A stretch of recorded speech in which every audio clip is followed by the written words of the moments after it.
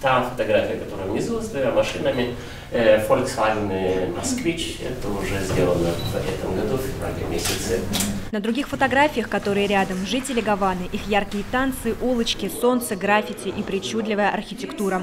Выставка Йоханнеса Галлерта организована для фестиваля «Волжская биеннале». Сам автор – фоторепортер крупной немецкой газеты, член Союза фотохудожников России. Все его работы, представленные в музее Добролюбова, сделаны на Кубе. Художник приехал туда первый раз в 1988 году.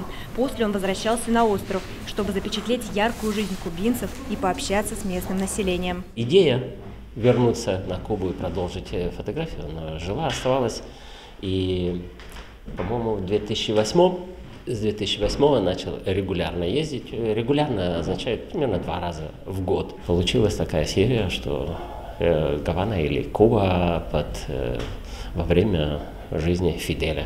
Потому что когда он умер, э, газета «Гранма» опубликовала большую фотографию под именем Куба С. Фидель. Ну и отсюда название выставки. На выставке представлены работы нескольких десятилетий. В каждом снимке много света, повседневная жизнь. Фидель Че Гевара везде, в рисунках и граффити, в барках и на стенах домов. Директор Русского музея фотографии рассказывает, что знакомы с художником давно. Работы для выставки они выбирали вместе. Первый раз мы познакомились как раз на первом международном фестивале Волжской биеннале в 2004 году. И с тех пор периодически его приглашаем, он приезжает к нам.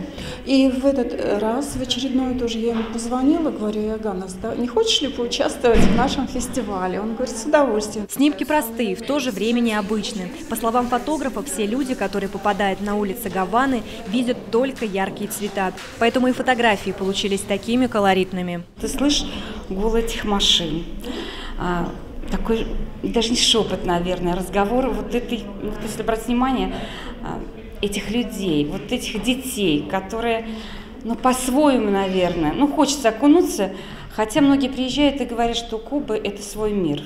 Это вот тот мир, тот социум, который нам, наверное, мы его немножко забыли, и не всегда мы ведь, наверное, понимали его. Выставка будет работать до 21 октября. Самого Йоханнеса Галлерта будут ждать со следующим визитом и с новыми фотографиями. Дарья Кульбакина, Максим Веселов. Время новостей.